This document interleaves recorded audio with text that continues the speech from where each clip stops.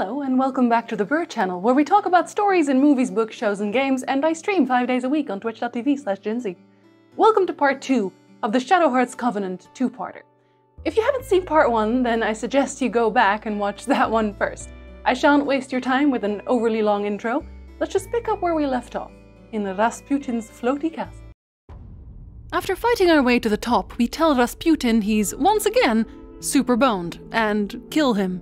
He's nice enough to tell us where Nikolai is before he pays the piper, though, so we quickly run back to Apuina Tower, where Nikolai seems very keen on opening the proverbial Pandora's box, and we do nothing at all to stop him, so that just kind of happens. The malice kept in the tower spreads across the world to infect the hearts of mankind, which prompts us to beat up Nikolai only for Kato to swoop in and steal our kill, or rather just block it entirely because he wants to take him away for some fun experimenting. This is also where his mutant apes show up Vegeta and very small Nappa. For some reason, we can't stop Kato because he is now super powerful. Still, we follow Kato to Japan, where Yuri has a tummy ache, which forces us to play as Blanca for a while so we can pick up our next party member, Kurando, who is fighting off assassins trying to kill his master. His master is another retcon, so let's quickly introduce him. His name is Naniwa Kawashima, Yoshiko Kawashima's father. He's accompanied by his new adopted daughter, who he also named Yoshiko, but who is actually Shen Shi. Pardon me for butchering that name. A princess from the Qing dynasty of China. Throughout this game, we hear how much Naniwa loved the original Yoshiko and how sad he is that she's dead, but I call shenanigans on that one. In Shadow Hearts 1, when Yoshiko is killed, she explicitly says, It appears my father has deserted me. Initially, the Japanese army already tells her that her father found a new adopted daughter and doesn't care what happens to Yoshiko anymore. And you might say, well, the Japanese army must have been lying. Maybe it was the foreign minister's plan. But then you would also have to accept that Yoshiko didn't know her own father at all, nor his politics. Yoshiko's charges and eventual execution came as direct orders from Tokyo. Her father would have known about it, so yes, this is absolutely yet another retcon. Another fun fact is that he knew Yuri's dad, Jinpachiro Hyuga, which, given that Karen becomes Anne in the future, is kind of a big deal, because how would he not have recognized her at this point? But more on that later. Now you know his deal.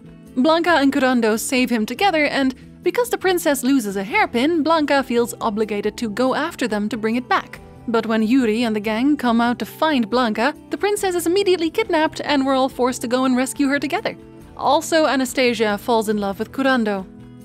Hey, Kurando? Yes, small child. I know I'm 14 and I probably shouldn't even consider this, but I really want to wash your underwear. Uh, excuse me? Don't question it. We're going to marry. I just met you. I know, but we don't really have a whole lot of room for character development here, so chop chop. Uh, this seems oddly rushed, and also, hold on, you're 14? Yes, now let's go wedding dress shopping. Fighting our way through the ship, we find the princess, and then we get arrested for her trespassing.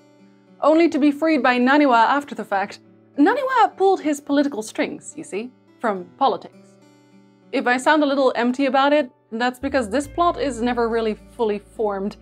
You see, the reason the princess and Naniwa keep getting attacked is because the Japanese foreign minister, Kantaro Ishimura, doesn't want Naniwa to start his own country.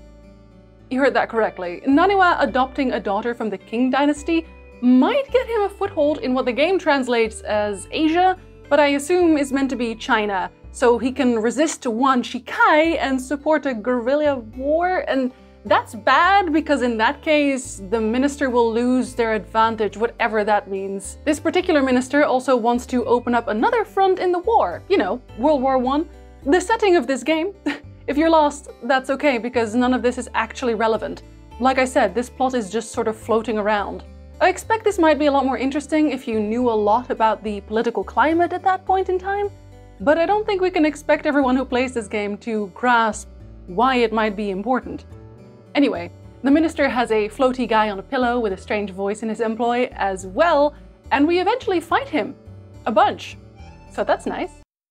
On the note of throwaway lines, when Naniwa gets us out of the slammer, he notes that it was especially easy because Anastasia was carrying papers that identified them all as goodwill ambassadors. She noted down Karen as Anne from Russia because she didn't want them to know she was German. To which Yuri exclaims, That was my mom's name! in a play for most obvious foreshadowing in a video game. From here, we decide to visit Yoshiko's grave, but unfortunately, the graveyard has been taken over by the floaty pillow guy I mentioned earlier. His name is Garan. He throws our party into hell, where we find out Kurando can also fuse, and then we punt Garan off his pillow so we can get on with the grave visiting.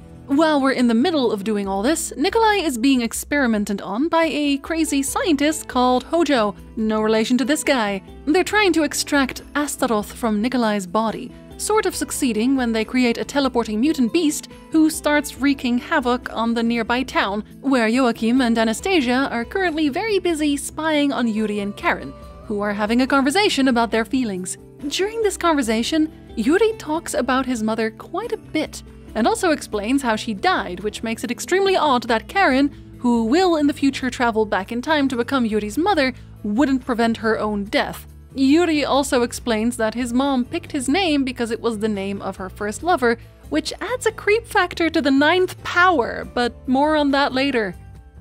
Anyway, the monster arrives, and so do Kato and his mutant apes, so we enjoy some jolly cooperation and defeat the big beast together.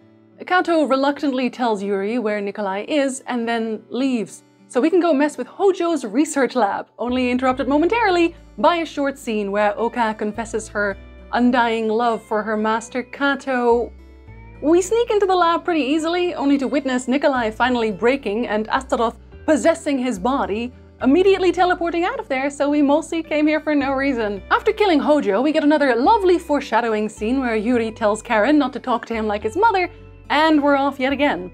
This time for Katsuragi, the Forest of the Wind, to find Kurando's mother, Saki, who might be able to point us towards Nikolai.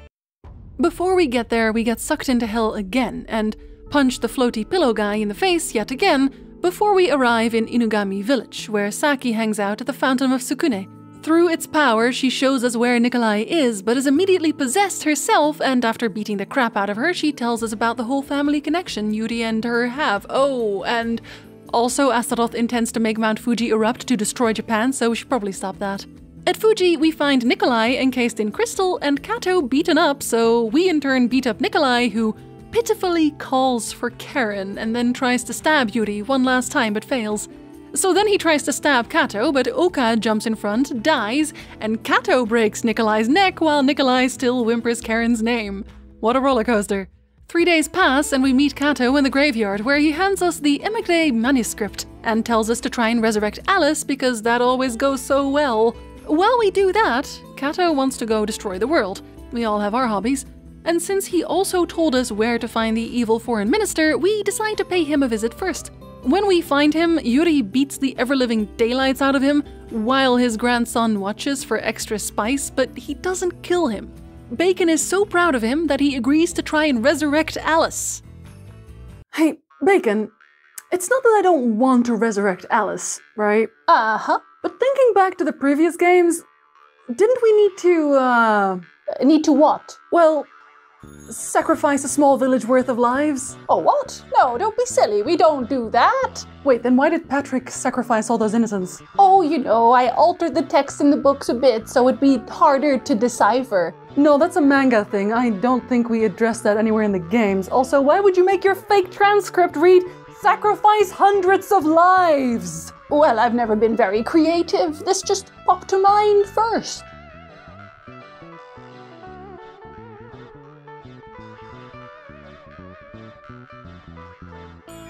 Anyway, let's go bring back your dead girlfriend.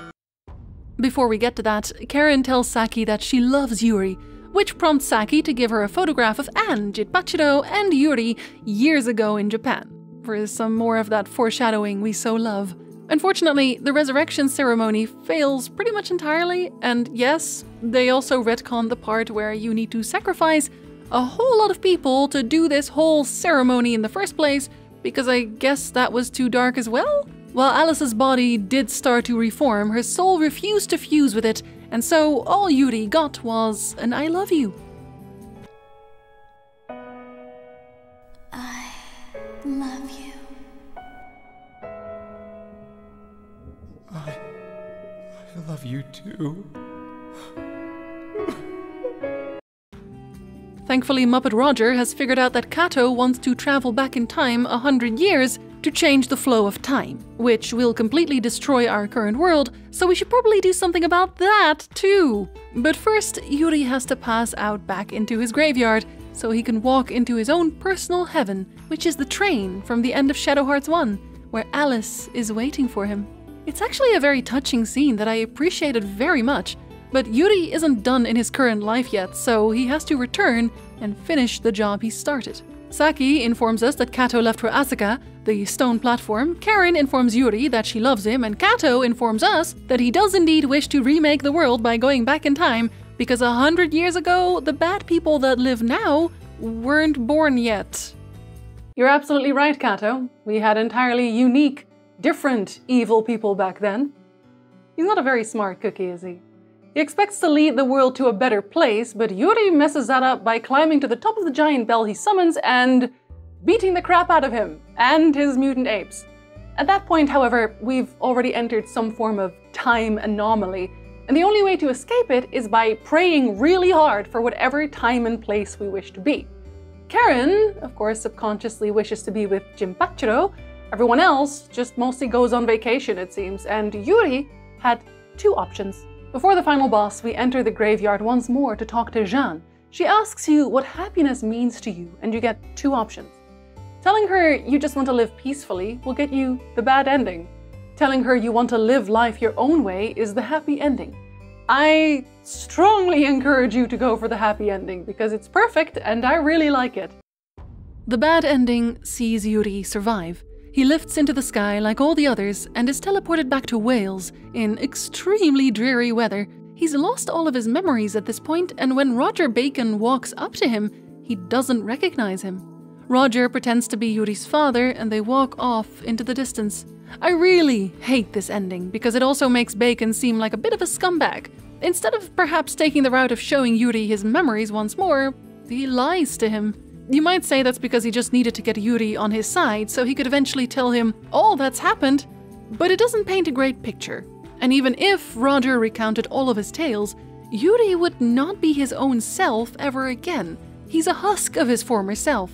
His character, his beliefs, everything that made him who he was is gone. It's extremely bleak. The good ending, on the other hand, sees Yuri die. That sounds terrible, I know, but it's actually very good.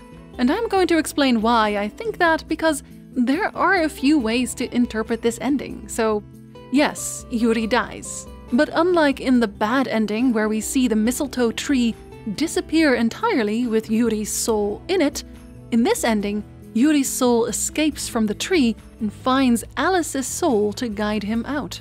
When next we see him, it's the start of Shadow Hearts 1 again, and Yuri is waiting on the train. Waiting on Alice. Now, pessimistically, you could see this as purgatory. Because his soul escaped, it found its way back in time, so he can go on his adventure with the woman he loves once again. Destined to lose her once more and do the whole song and dance all over again. It's a terrible, terrible fate. But this ending is noted down as the good one, officially, so I don't think that's true. My interpretation of the ending is that Yuri's soul escaped, memories intact, and re inhabited his body from all that time ago. Now, knowing what their fates would be, Yuri could work to change the flow of history. This time, he would get the good ending from Shadow Hearts 1. He would save Alice, and they would have their happily ever after. There are points to be made for both interpretations, of course. Partially, it would be a little strange that Yuri didn't really change much about Covenant's events, given how it's discussed in Shadow Hearts 3. But that aside, there's also the idea of parallel universes. The idea that no, Yuri isn't really changing history, he's merely created an alternate timeline in which he gets his happiness. And this is why I absolutely loathe time travel storylines. It basically gives you a get out of jail free card no matter what you do. So I choose to go with the true happy ending. I enjoyed Covenant.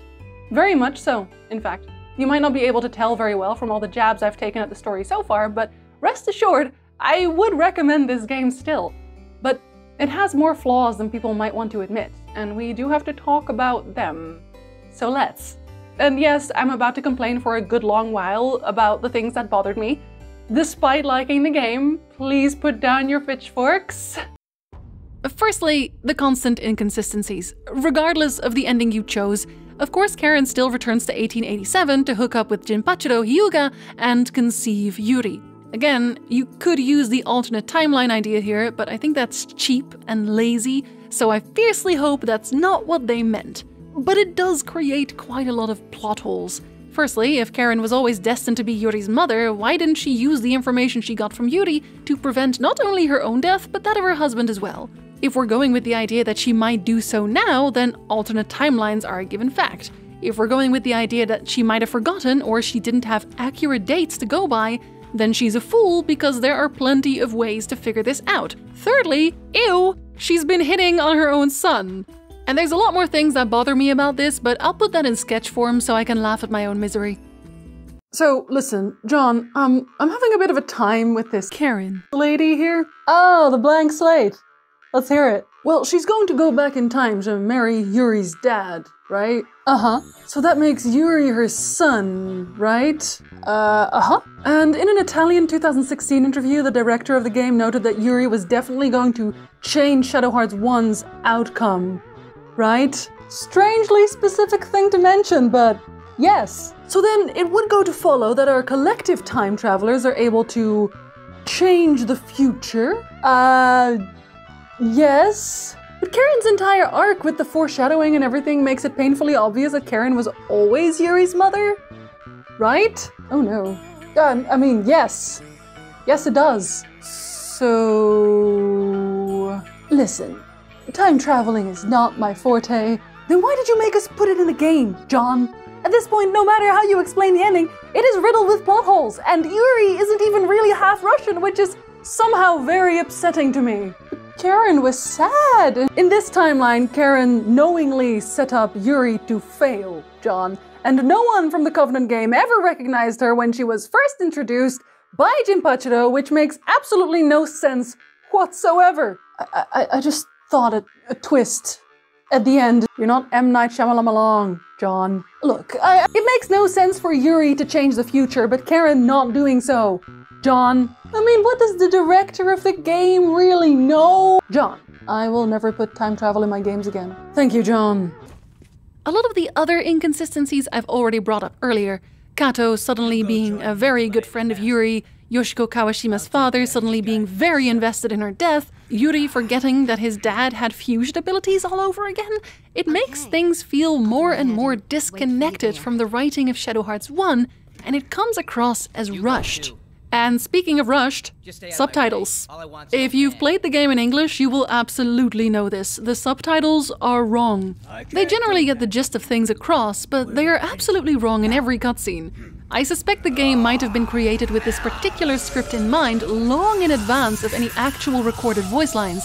Then, after they started recording, they realized how silly something sounded when spoken aloud, and changed it without ever changing the subtitles to match. But even worse, there are times when the characters' mouths move, but there is no voiceover. Voice lines were cut, but animation was once again never changed to a line.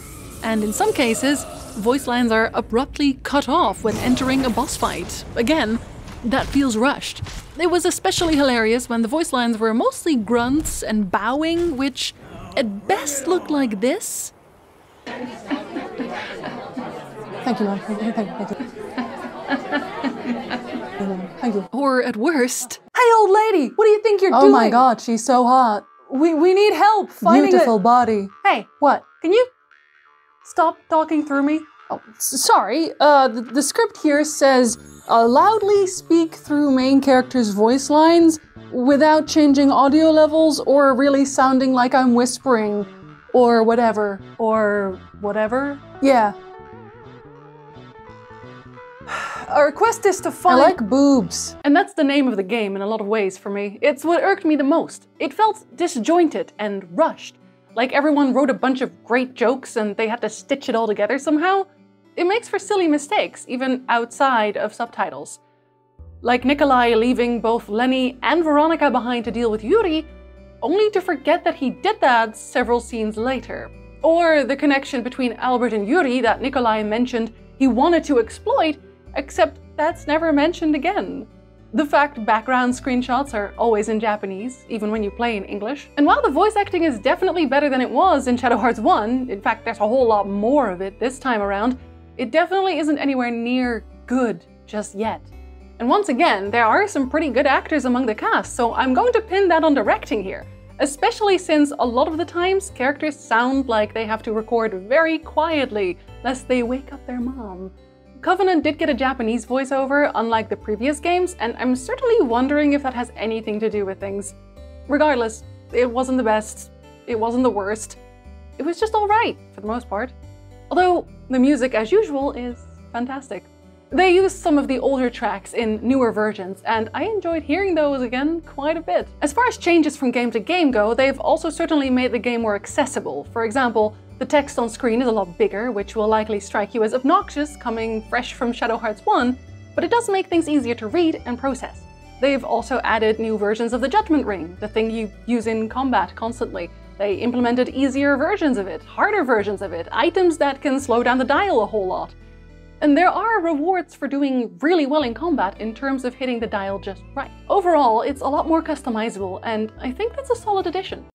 Speaking of Judgment Rings, Astute listeners might have realized that I haven't brought up the Ring Soul. That's because I want to talk about that guy in the larger scheme of things. The Ring Soul is a character that pops up every now and again to give our characters a boost for their judgment rings.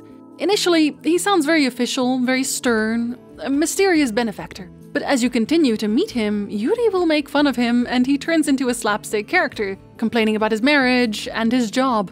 I thought it was quite funny, honestly, but I'm a bit sorry that this seems to happen to most characters in this game. Whenever something serious happens, it's almost always offset immediately by a slapstick moment. Darker moments have very little time to breathe, and I do miss that in this game. The Shadow Hearts series, from Koudelka to From the New World, progressively lost more and more of its horror elements, replacing them with silly humor. I have no qualms with silly humor, but Finding solid horror RPGs is hard enough as it is, and it kind of stung to lose this one too.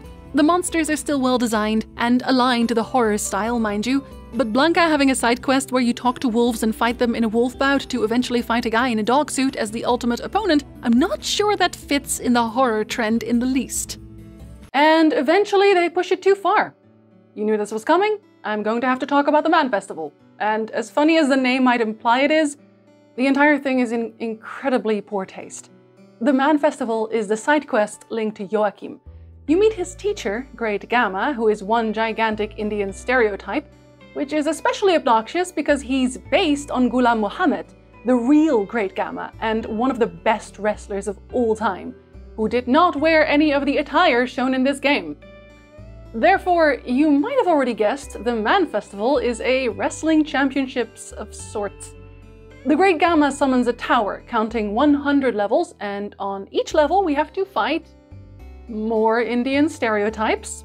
Very thin men who wear Indian dishes on their head while they fight. Oh boy.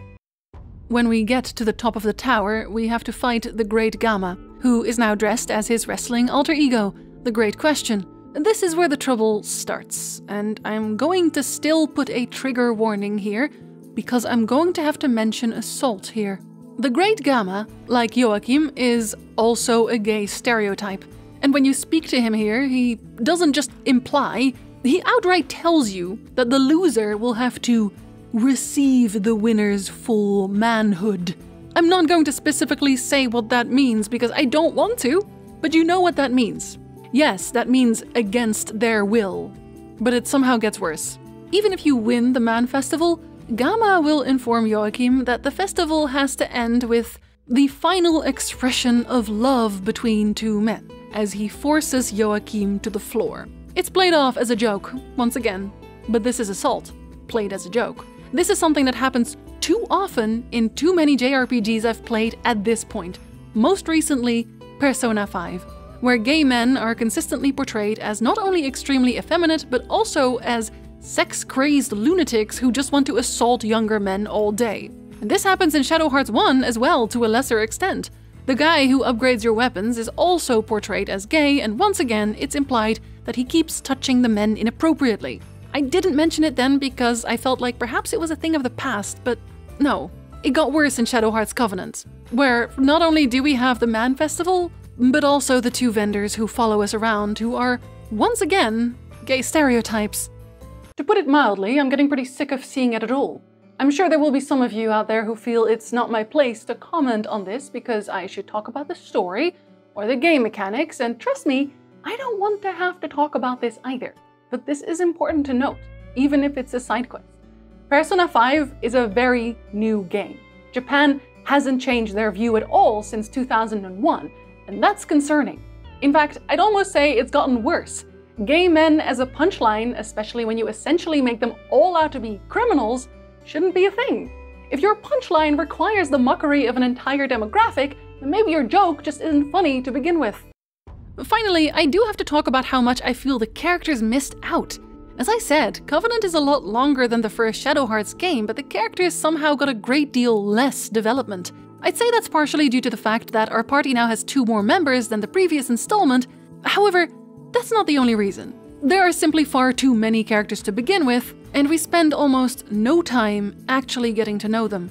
Let's draw a quick comparison with Shadow Hearts 1, shall we? You had six playable characters Yuri, Alice, Zhuzhen, Margaret, Keith, and Halley. Then there were the two main villains, Dehuai, and more importantly, Albert Simon. Roger Bacon and Koudelka, who we already knew from the Koudelka game, Yoshiko and Kato, the Japanese army team, Ben, or Jinpachiro Hyuga, Yuri's dad, and Wuguai, a minor baddie. Any other NPCs we encounter are largely there to expand on the story of the previously mentioned set, like Shifa, who used to teach both Zhuzhen and Dehuai, or they have their own small but conclusive storyline, like Lily.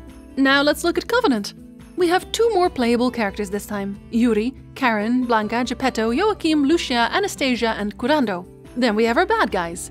We start out with Nikolai, of course, but then there's Lenny and Veronica, also Rasputin, and don't forget Kato, and we're somehow supposed to care about Foreign Minister Kantaro Ishimura as well. I mentioned before that I feel there were too many bad guys to really pin anything down, and it really shows. In Shadow Hearts 1, it was very clear from the start that Albert was the bad guy. Yes, we fight Space God in the end, but only because it was summoned by Albert to destroy the world. We open with Albert, we end with Albert.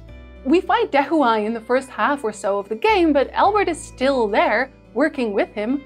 Dehuai is very obviously just a pawn in his game, whereas in Covenant, we're first introduced to Nikolai, who then tells us he's part of a cult, and that cult is run by Rasputin, who is the real big bad. No, wait, it's actually still Nikolai. Oh, no, never mind, it's Rasputin, and he's dead. So then it's Nikolai again, but he gets knocked out by Kato, so Kato is the bad guy now? Nope, never mind, because now Nikolai is free and he's the bad guy again. Wait, no, he's dead. It's actually Kato who's the real bad guy. For real this time, I swear. The whiplash does not help the story along. It makes it feel, once again, disjointed and meandering. On top of that, it leaves less time to invest in each specific character, in Shadow Hearts 1, Margaret and Keith are somewhat underdeveloped, so to make up for that, we have their side quest. Margaret's side quest literally just has her confess her feelings about her journey with Yuri and the gang in the most literal sense of the word. Keith has us go back to his castle to beat up Joachim so he can take his sword. The other four characters are so integrated into the main plot that we constantly learn new things about them. Covenant, on the other hand, does not really do that. How could it? The storyline's all over the place. The only character actively evolving throughout the story is Yuri. Everyone else is incidentally there. It's his story and no one else's. Yes, we're saving the world together, but honestly, the majority of the character's reasons for helping us do seem to be well, we're here now anyway, so we might as well. We learn intensely little about each person beyond their initial recruitment, and it made me feel far less connected to them. They do have side quests, but they don't always deal with the characters themselves in some cases. Like Anastasia, who just has us go back to the Neem ruins so she can tell a demon to shut up and get in her pocket. Karen's questline has her say goodbye to her grandmother's ghost, which, while touching, doesn't tell us anything new about her as a person. Blanca just fights a bunch of wolves, Joachim has the before mentioned Man Festival, and Lucia goes hunting for flowers? Alright, John, let's uh, come up with some cool quests to get to know the characters better. Uh, how about we go flower picking with Lucia? Yeah, okay, so so what did we learn uh, about her during it? Oh, nothing. I, I just want to go flower picking. Uh, we'll give her a neat ability afterwards. Gamers love abilities. Y- You sure you don't want to know more about her as a person? Uh, her motivations, maybe? We haven't really given her any yet, except uh, go travel. No, I'm good. And let's send Anastasia to the Neem ruins. Cool. Yeah, we, we love the ruins. That's a whole throwback too. I, I think. Uh, so what's her deal going to be? She's going to mock a demon. Right, and and then we get a bit of character progression, maybe. Uh, no, no, she's the same old Anastasia as usual. Just she's mocking a demon this time. I really wish I could fire you, John. Gepetto's quest is probably the most interesting one. He has the dollhouse quest of this entry, and in said dollhouse, he is confronted with a demon pretending to be his daughter. He has some character development here, which is more than we can say for anyone else. Kurando's quest is just about him finding a new shiny blade and then beating up his mother so he can grab a new fusion. Yuri's quest is once again obtaining the Seraphim fusion, which is a lot easier this time around. It also involves his dad again, and I don't think I've mentioned this before yet, but they've had to babyface up Jinpachiro quite a bit to make him seem like Yuri looked like him, which they won't stop mentioning. Anyway, their scene is largely a watered down version of the Shadow Hearts 1 scene. So, yes, a lot of time is used on things that don't involve actual character progression. I'm careful not to say wasted here because there's a very good chance I'm one of the few who actually feels that's a problem. After all, this game is beloved by many, far more so than Shadow Hearts 1. However, one thing I wish they'd done is cut the entire foreign minister story beat. I know how ridiculous that sounds, but hear me out. The foreign minister's questline is dead air, the deadest of air. We could have just left him off screen as Kato's boss, and we'd have the exact same effect. The only thing we ever see this man do is sit on his couch in a cutscene talking to Floaty Pillow Man about how much he wants to kill Kawashima? Gato didn't matter. The lab didn't matter. We didn't have to go there because it did nothing. It could have all been in a cutscene without us there. It almost felt like they were afraid to let us go without combat for too long, or like the game might not be long enough, but man, I did not care about this foreign minister at all. And there are obviously more characters that did nothing to move the plot forward, too. All this time could have been used to flesh out the main party members that much more, because as it stands, they might as well be puppets that occasionally produce their patented joke. It makes their ending somewhat hollow for me too. I see all these characters having a good time, and all I can think is, okay, I guess? Because I'm not really invested in whether they get a good ending. The only person I'm invested in is Yuri. And with that, we can finally put an end to my complaining. I look forward to the comment section so much. I'd like to talk a little more about the ending here before I close out the video entirely, but first, let me also emphasize that Covenant made a lot of very good changes as well. Mechanically speaking, these changes include, but are not limited to, the aforementioned Judgment Ring changes, the streamlined shopping and discount experience, the rather interesting new magic system that allows you to mix and match spells in various ways, alongside its new questline, and the combo system. In terms of technical improvements, Covenant definitely knew where to go. But as I am, again, primarily a story channel, here's why I still like the story in Shadow Hearts Covenant, despite my numerous complaints. Covenant, at its core, isn't really about the main story. It's about Yuri. He's still experiencing a story, of course, but that's technically background noise. What we're dealing with is Yuri's personal journey regarding the loss of Alice, the love of his life. In Shadow Hearts 1, he thought he'd finally found some form of happiness. He loved Alice, she loved him. They'd be together forever, and then she died. His life crumbled and he drifted directionless, living more for the memory of her than for himself. Covenant sees Yuri build himself up again, find a purpose, and figure out how he wants to live his life. As the question in the end states, what is happiness to Yuri? It's why the bad ending is labeled as such. Even though Yuri decided to live on without his memories, that isn't Yuri anymore. It isn't even the Yuri who made that decision at this point. He's a husk. Yuri is dead, and he forgot both himself and Alice. In the good ending, he preserves those memories, is willing to die for them even. He decides that his happiness has come and gone, and it was enough. In the final zone, Yuri could just as well have used the time gate to travel back in time himself. to Alice at the cost of the world, and Yuri refuses, knowing he's throwing away his only chance to see Alice ever again. As far as he knows, anyway. I think that speaks for his character a great deal, and I like that they don't have him simply say it. He doesn't stand up in a grand gesture where he exclaims, No, Kato, I will not sacrifice the world for my one true love, even though I really, really miss her and would quite literally die for her. I cannot sacrifice the lives of others for my own happiness. She would not have wanted that. Which is basically what the mutant apes did a few scenes earlier. It's just a silent acknowledgement. When Yuri eventually chooses to die, the combination of the scenes and the music made me cry because this character I loved had died. But at least in my interpretation, he was given a second chance. And so was Alice. I always feel that if a game can make you cry, especially tears of happiness, the most difficult and rarest kind, then the story did its job.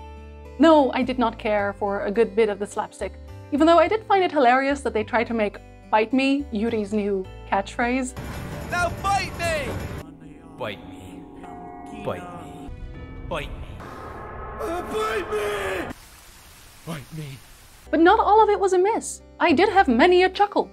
The added sense of humor definitely wasn't always unwelcome, not at all. I just really miss the horror elements a great deal, but that's a personal preference and not something I will hold against the game.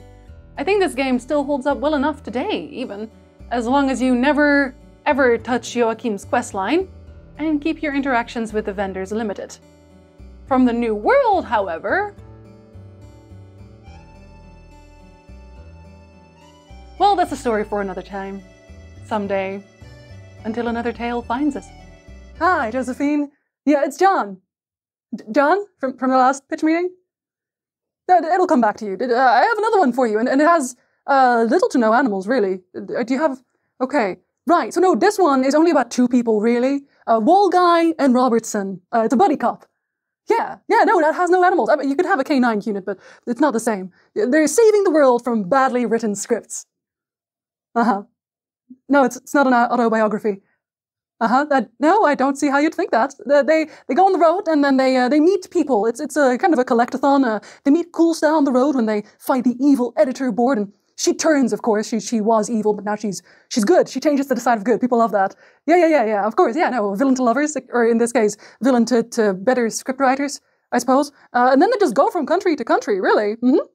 Yeah, yeah. They find uh, Ray Ray uh, in in Lakeland. He's the guardian there. Yeah. Uh, no, he's he's killing writers. He's, he's killing writers, but he, he'll stop doing that. Of course, he'll see the error of his ways that yeah, that's another that's another villain to good guys. I, look, I, I, just really like the trope. What can I say, Josephine? Stop getting on my back like this. What about Lavaland? Do we like Lavaland? We find Adrian Peckle in Lavaland. Yeah, you know he's in, in mortal peril, but uh, finds the courage to fight his way out of there and become stronger for it.